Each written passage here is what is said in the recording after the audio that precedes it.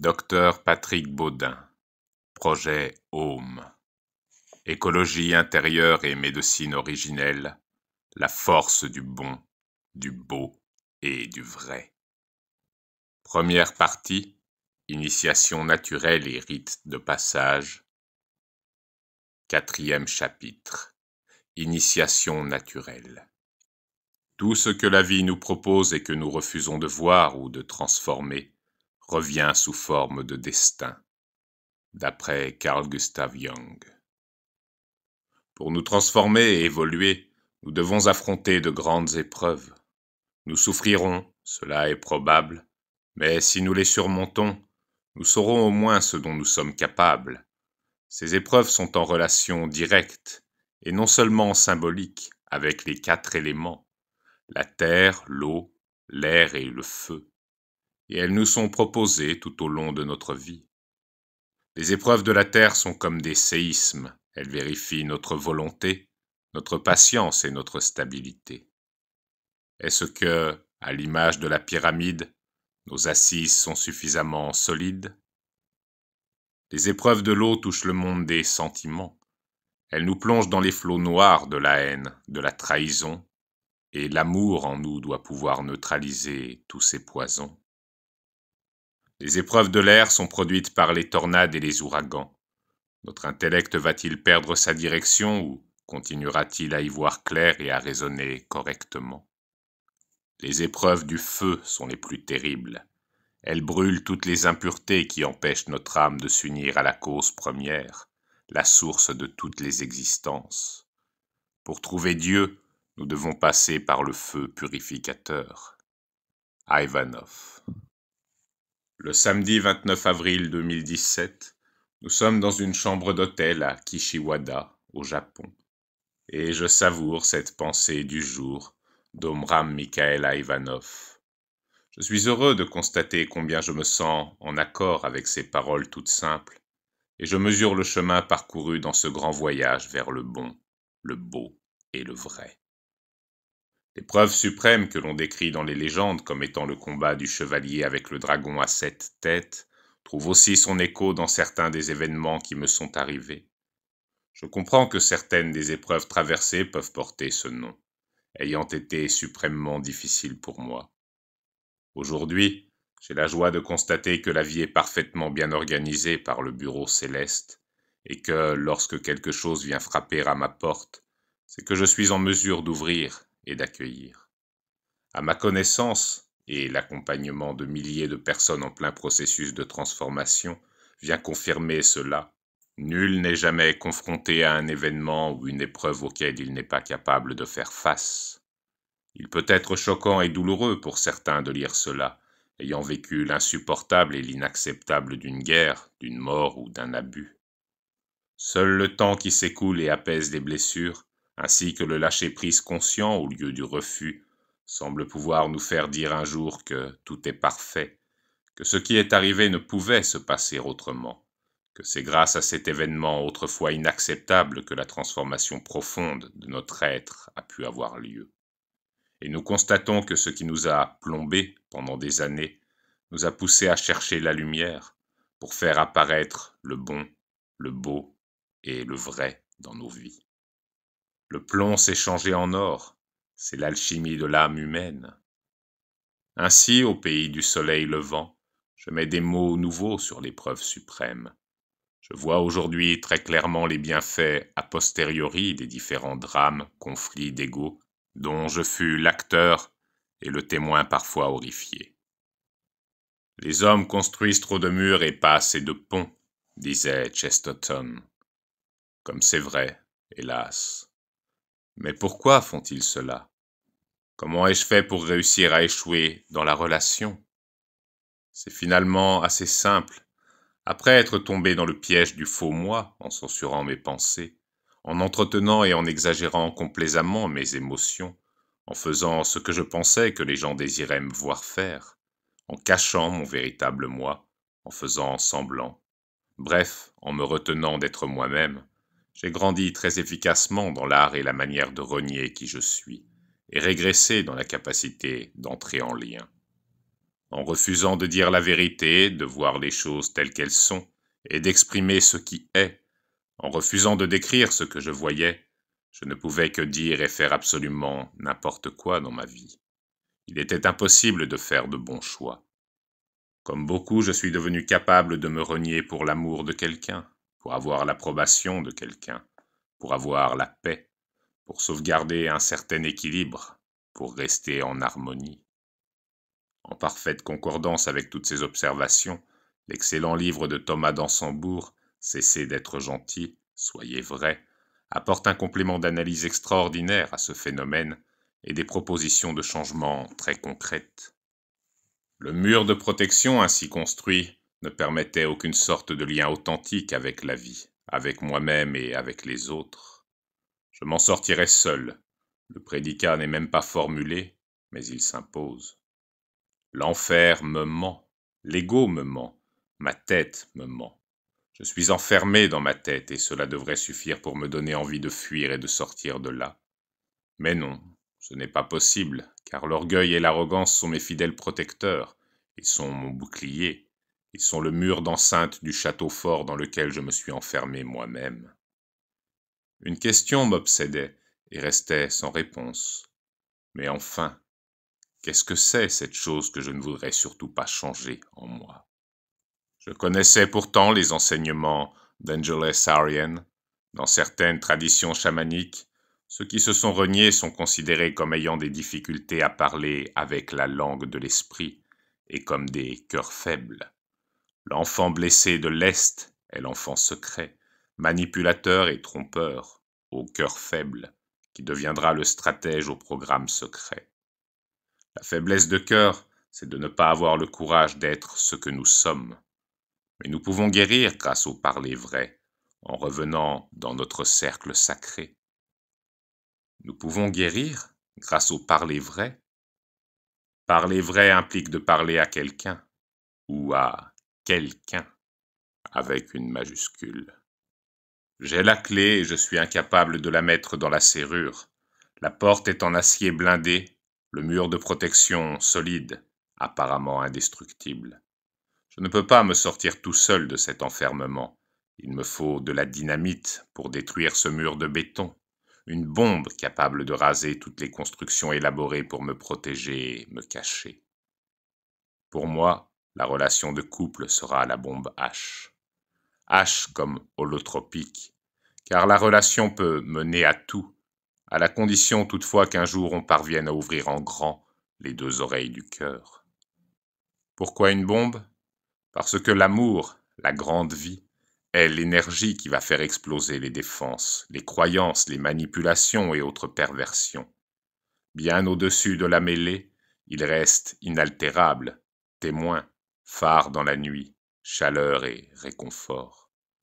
L'amour, celui que je nomme avec un grand A, n'est pas un sentiment, une émotion, un état transitoire, je le sais. C'est le feu sacré de la vie. C'est la vie elle-même. J'apprends que le feu est le seul des éléments qu'il n'est pas possible de salir. On peut polluer l'eau, l'air, la terre, nos propres pensées et nos actions, mais on ne peut pas polluer le feu. On peut l'étouffer, l'éteindre, mais on ne peut pas le polluer. Le feu est purificateur, il brûle tout, consume tout, ramène tout à un état primordial. L'amour divin non plus ne peut être pollué. On peut polluer l'amour humain de mille et une choses terribles, mais on ne peut pas toucher cela qui est indestructible, infini, éternel, et qui est la vie. Que me révèle la relation conjugale?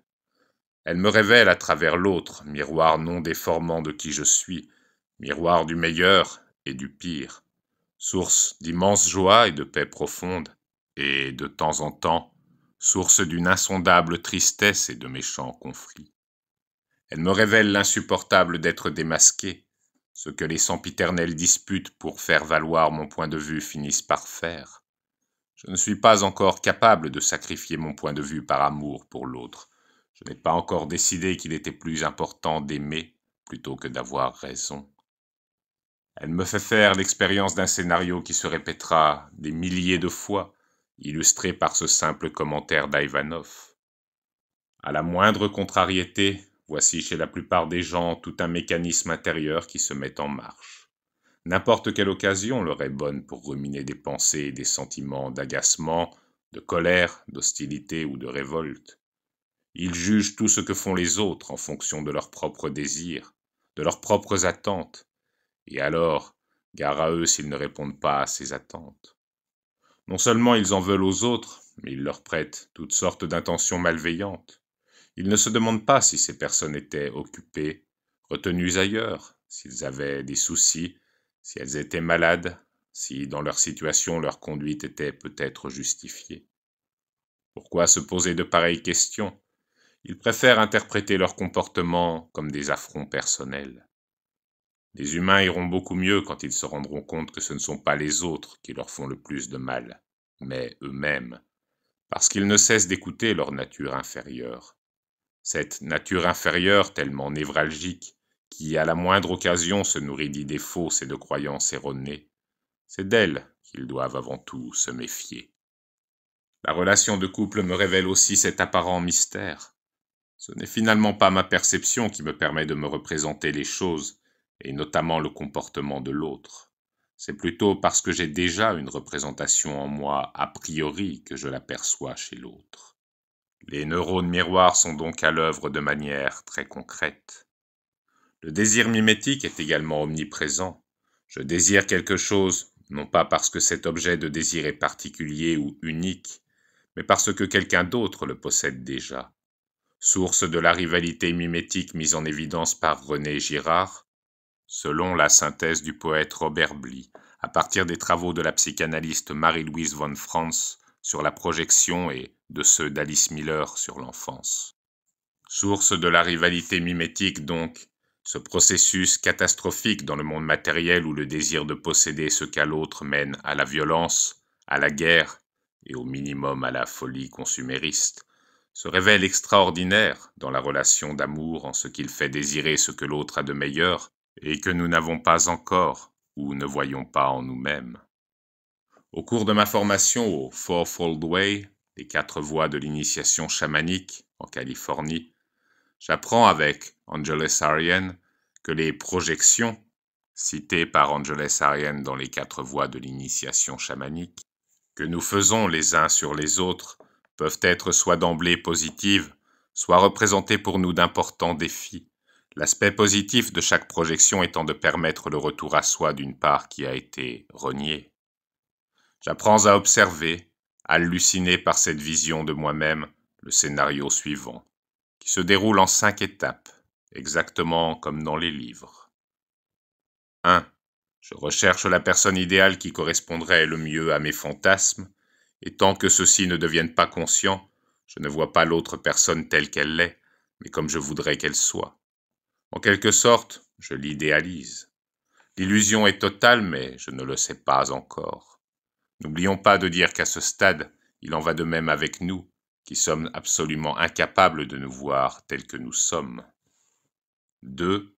La confrontation au quotidien remettant les pendules à l'heure, je commence à m'apercevoir que l'autre personne est finalement très différente de ce que j'avais imaginé. Mais le déni de cette réalité me replonge directement dans la projection. Je trouverai toujours des explications logiques ou des excuses pour tenter de justifier ce que je ne veux pas voir de ma propre nature. Si un problème survient, c'est bien sûr l'autre qui en est responsable. 3. De frictions en agacement, de disputes en conflits, je finis tantôt par me dire que celle que je prétends aimer est bien au-delà de ce que j'avais projeté, et que je ne suis pas du tout à la hauteur, tantôt par me dire qu'elle n'est pas à la hauteur de ce que j'avais imaginé, qu'elle est trop ceci ou pas assez cela. Aucune rationalisation n'est plus possible. Je me vois déçu, en colère, et je passe le plus clair de mon temps avec elle en reproches et en jugements. À ce stade, nous pouvons progresser vers l'étape suivante en nous réappropriant et en intégrant notre projection. Mais nous pouvons aussi chercher une autre personne qui l'assume et puisse servir de cible. À cette époque, lorsque je recevais en consultation des personnes en couple en instance de séparation, je posais toujours cette question. Accepteriez-vous de me raconter comment votre histoire a commencé? Il était important pour moi, et pour cause, car on enseigne toujours ce qu'on a besoin d'apprendre, d'aider ces personnes à faire le discernement suivant. S'agit-il d'une histoire construite sur la peur d'être seul, sur le besoin d'être normal, ou de conforter une appartenance à un groupe social? S'agit-il d'une histoire d'amitié à laquelle la sexualité est venue se mêler? Ou bien s'agit-il d'une vraie rencontre amoureuse, avec le sentiment d'avoir été pris par surprise, dépassé par quelque chose de plus grand que soi S'agit-il d'une histoire où dominent les sentiments d'avoir un vrai compagnon, suffisamment de valeurs communes, une immense et parfaite confiance, l'envie de donner le meilleur de soi dans la plus grande bienveillance? Dans l'un comme dans l'autre cas, je me gardais en général de tout conseil allant dans le sens d'une séparation ou d'un maintien de la relation à tout prix. Cependant, je me faisais peu d'illusions dans le premier cas, alors que je restais enthousiaste à stimuler le courage et la persévérance dans le second. 4. Lorsque la projection est reconnue comme telle, c'est l'étape du chagrin. Chagrin de reconnaître que j'ai été si peu conscient de moi-même, chagrin de reconnaître que je n'ai pas perçu mon amoureuse pour ce qu'elle était vraiment, chagrin de prendre conscience des torts immenses que je lui ai faits, la plupart du temps très inconsciemment, et chagrin d'avoir pris pour de l'amour ce qui n'était que désir et fantasme de ma part. C'est donc cela que je ne voulais pas voir, c'est donc cela ce que je ne voulais surtout pas changer en moi. 5. Puis la projection parvient petit à petit, au fil des ans et des épreuves, à être réappropriée et objet de compassion. Compassion pour nous-mêmes et pour ceux qui vivent les mêmes problèmes. Objectivité et non-jugement prennent, enfin, l'espace laissé libre. L'écroulement du mur de protection fait suite à la montée en conscience de tout ce qui occasionnait les différentes projections. De situations conflictuelles en réconciliation, de réconciliation en situation conflictuelle, l'observation étonnée d'un amour qui survit cède peu à peu la place à la réalité puissante de l'amour. Plus précisément, c'est moi qui survis, dans ma vision d'amour étriqué, car l'amour, lui, est bien vivant, et c'est parce qu'il est bien vivant qu'il peut éclairer la route tortueuse et encombrée d'obstacles permettant de lui revenir. Au sortir du combat intérieur avec mes vieux démons, j'apprends la toute-puissance transformatrice de l'amour. Dans la relation, le cœur pur de l'un fait miroir au cœur pur de l'autre, même s'il est bien caché. Ils se sourient et s'éveillent mutuellement. L'insensibilité qui était mienne laisse peu à peu la place à un cœur vulnérable, mais tellement plus ouvert. J'entends là un ami qui m'a souvent répété La nature de l'amour est de ne rien forcer. L'amour est vulnérable. C'est lorsque nous sommes désarmés que nous sommes désarmants. Quel bonheur aujourd'hui que sentir mon cœur plein, ouvert, clair et courageux. Je ne trouve pas de mots plus forts et plus beaux que dans ce texte sublime de Jacqueline Kellen, extrait de Divine blessure, au chapitre 6, La rose et le couteau. C'est la blessure qui permet le rapprochement.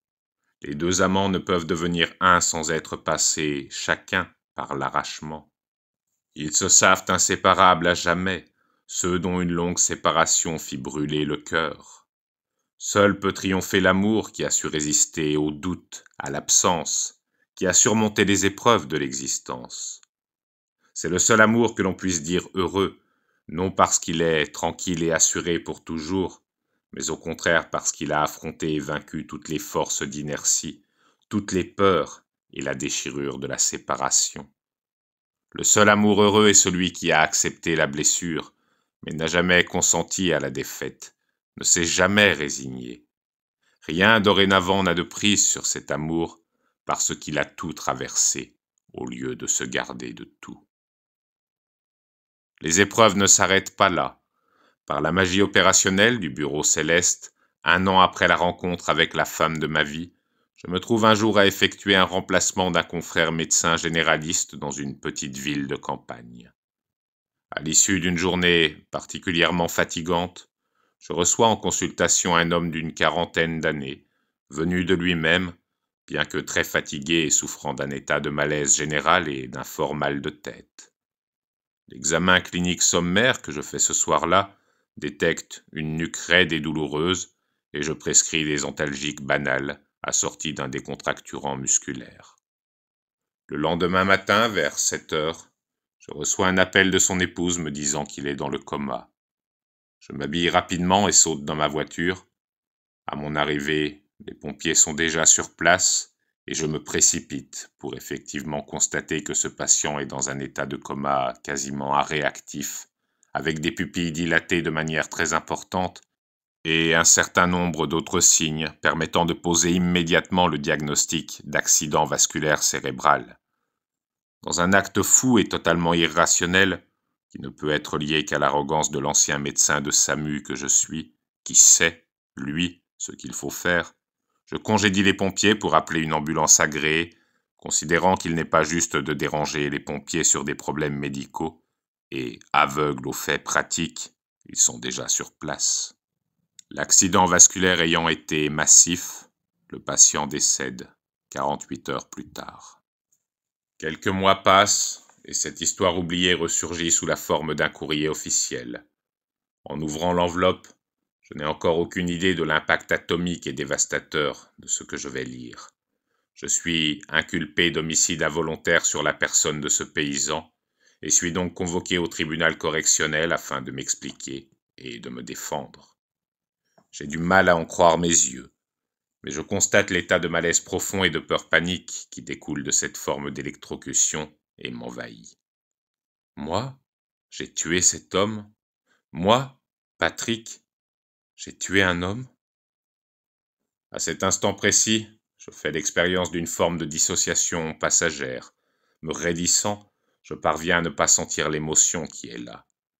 Mais au fil des jours, la peur développe ses tentacules et enserre mon cœur autant que ma conscience. Le procès durera un peu plus d'un an, confirmera le chef d'inculpation et débouchera sur une condamnation à verser une somme colossale, comme aujourd'hui un demi-million d'euros. Je ne comprends pas cette condamnation, puisque deux expertises neurochirurgicales successives ont montré que je n'étais pour rien dans l'issue fatale de cet accident vasculaire massif. Ce que je comprends, c'est la honte que j'éprouve à lire des articles dans les journaux locaux et régionaux précisant que le docteur Patrick Baudin a été condamné pour avoir prescrit de l'aspirine à une personne faisant une hémorragie cérébrale. Le niveau de stress est majeur, énorme, et sans le soutien indéfectible de mon épouse et de ma famille, je ne sais pas où je serais aujourd'hui. Mon avocat finit par m'expliquer les tenants et aboutissants de ce genre de procédure, cette condamnation pour homicide involontaire conditionne le paiement des dommages et intérêts par l'assurance à la famille. Pas de coupable, pas de condamnation, pas d'indemnité. S'agissant d'un agriculteur ayant une femme et des enfants en bas âge, je comprends bien la nécessité de l'indemnisation. Il m'est toutefois impossible d'accepter de devoir être considéré comme un criminel involontaire aux yeux de la société pour une question administrative de paiement d'assurance et tout aussi difficile de cautionner un système de soutien financier fonctionnant d'une telle manière. L'insupportable de cette situation joue toutefois son rôle en allant chercher de manière souterraine à déraciner les différents points d'orgueil auxquels je me suis attaché pour me sentir à la hauteur. Je constate et j'apprends que l'orgueil et l'arrogance ne sont que les stratégies pitoyables de ceux qui n'ont pas confiance en leurs propres valeurs et qui deviennent experts dans l'art d'écraser les autres pour se sentir plus grands. La leçon confirme impitoyablement et violemment la sagesse des pères du désert. Le meilleur traitement de l'orgueil, c'est la chute. La même année, une famille porte plainte auprès du conseil départemental de l'ordre des médecins pour sa fille hospitalisée en service psychiatrique à la suite d'un épisode de schizophrénie aiguë ou bouffée délirante aiguë qui serait attribué à une expérience de respiration holotropique faite six mois auparavant dans le cadre de l'un de mes stages. L'expert psychiatrique consulté dément tout lien entre les deux événements et la plainte sera classée sans suite. Toutefois, le conseil départemental reprend la plainte à son propre compte et me poursuit pour pratique charlatanesque et en désaccord avec les données acquises de la science. La combinaison des deux événements amène le Conseil régional à prononcer à mon encontre une radiation définitive, à vie, de l'ordre des médecins, donc une interdiction d'exercice. L'appel de cette décision auprès du Conseil national réduira la peine à trois ans, et je serai amené à m'installer comme psychothérapeute durant toute cette période. À la fin de ces trois années, je pris la décision d'ouvrir mon propre cabinet de consultation de médecine générale dans une ville de province, mais en optant toutefois pour le régime non conventionné et honoraire libre, qui me permettait de proposer des consultations d'une heure minimum, au cours desquelles il était fascinant d'aller en profondeur avec le patient, chercher à la racine de son mal. Cette forme de médecine psychosomatique, loin de s'adresser à des privilégiés au niveau financier, la consultation d'une heure était à 70 euros, amenait au cabinet toutes sortes de personnes, de manière totalement indépendante du milieu social, de la culture et du milieu professionnel, simplement des personnes souvent déçues par le manque d'écoute et l'étroitesse du champ des propositions thérapeutiques des médecins, parfois par l'inefficacité du traitement. Il me semblait utile d'apporter en complément de la démarche diagnostique et thérapeutique médicale classique une vision complémentaire, un décodage du sens de la maladie, parfois un traitement homéopathique ou phytothérapique aux effets secondaires inexistants, avec souvent de bons résultats. Le cabinet fonctionnait bien, puis l'été 2003, alors installé depuis trois ans, je reçus de la part du conseil départemental de l'ordre des médecins un courrier me convoquant dans les plus brefs délais. Le conseil avait été alerté par un confrère probablement inquiet qui lui avait transmis une documentation sur les stages de respiration que j'animais à l'époque.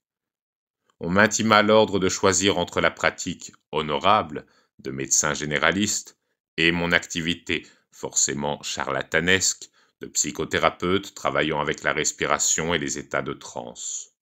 Et l'on me précisa, à toutes fins utiles, que si je choisissais d'exercer honnêtement la médecine générale, il me faudrait renoncer totalement à l'activité de thérapie de groupe, et en outre prouver que je ne vivais bien que de la médecine générale en apportant chaque mois mon carnet de rendez-vous au conseil départemental pour vérification. Quoi penser? Pour l'ordre, mes choix professionnels font désordre. Pour moi, il y a du désordre intérieur à peiner dans un chemin trop étroit et tout tracé par l'ordre des médecins et la santé publique. Je ne souhaite plus aujourd'hui que mes pères me disent comment je dois vivre ma vie professionnelle. Je n'ai plus besoin aujourd'hui qu'un père me dise ce que je dois faire de ma vie personnelle. Je veux juste être dans l'ordre des choses, être en ordre dans mon cœur, et continuer à faire confiance quoi qu'il advienne. Ne souhaitant pas me rendre esclave d'un système qu'il m'était impossible de cautionner, je fis alors le choix de demander ma radiation volontaire du tableau de l'ordre des médecins pour convenance personnelle, m'étant assuré au préalable qu'il me serait possible de le réintégrer. Je savourais la riche ambivalence du français écrit et parlé, qui permet de constater que le mot radiation, évoquant l'exclusion centrifuge, contient aussi l'idée de rayonnement.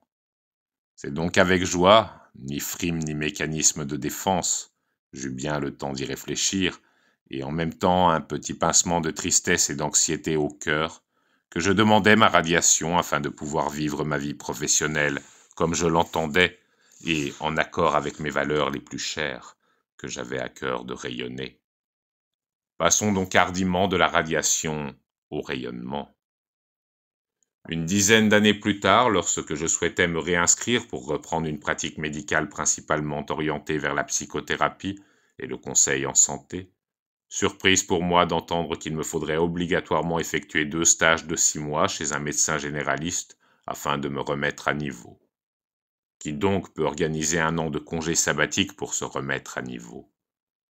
Il s'avéra inutile d'argumenter et de chercher à démontrer que je ne souhaitais aucunement pratiquer la médecine générale, mais simplement proposer une pratique complémentaire de celle-ci, recevoir des patients dans une démarche exclusive de prévention, de conseils en santé et en nutrition, de rééducation respiratoire et de psychothérapie non psychanalytique, comme le font d'ailleurs un certain nombre de médecins alternatifs, tout en étant officiellement médecin généraliste. Ma proposition me paraissait honnête et particulièrement justifiée dans un contexte de désertification médicale galopante, poussant un grand nombre de médecins généralistes au burn-out, tant le manque de praticiens était déjà important à cette époque. L'exigence de la part du Conseil de l'ordre d'une remise à niveau en médecine générale équivalait donc à un avis d'incompétence et à une fin de non-recevoir. De quoi être en colère et avoir mal à l'estomac pendant quelques années, tant la situation s'avéra indigeste. Le corps, décidément, ne ment pas. Devant le constat évident d'un besoin d'écoute, de thérapie psychosomatique et de conseils et d'enseignements en santé de la part des malades, comment concilier en moi-même ces orientations avec, d'un côté, le refus d'un ordre professionnel médical dont la vision thérapeutique s'arrête au traitement pharmacologique, et de l'autre, le poids d'un système rendant une majorité de médecins indisponibles à cette demande. De fait, un grand nombre se dévoue déjà corps et âme et souhaiterait pouvoir élargir ses compétences, s'il n'était pas écrasé par toutes sortes de contrôles et d'exigences discutables, contrôle de qualité, accès handicapé, comptabilité et paperasserie impressionnante.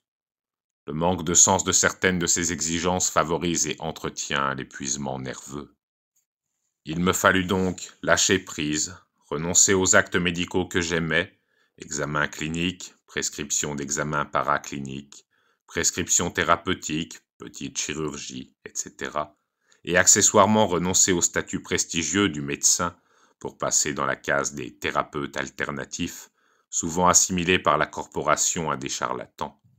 Lorsqu'en 2012 il me fallut en sus de tout cela établir un dossier pour légitimer l'utilisation du titre de psychothérapeute et me voir refuser ce statut par l'Agence régionale de santé, ARS, après 20 ans de pratique psychothérapeutique, pour manque de formation et de compétences dans le domaine psychiatrique, le choc fut rude et particulièrement indigeste sur le plan psychosomatique. Malgré tout, devant l'ampleur des résultats thérapeutiques obtenus avec le travail respiratoire, j'appris peu à peu à transformer ces différentes difficultés en force créative. La conclusion qu'il m'est aujourd'hui possible de tirer de toutes ces expériences est la suivante il m'apparaît vital pour notre société, et en particulier pour nos enfants, de proposer des initiations et des rites de passage permettant de se connaître soi-même, de connaître ses limites et ses qualités, de cultiver présence, responsabilité, courage, sensibilité, vision claire, prudence et tempérance, de sorte à se préparer à l'épreuve. Faute de quoi, c'est la vie elle-même qui se charge de ritualiser la transformation intérieure de manière imprévisible, à travers la confrontation parfois violente aux événements et aux personnes. Ces initiations naturelles sont la plupart du temps beaucoup plus difficiles et douloureuses, et bien souvent la souffrance en obscurcit le sens.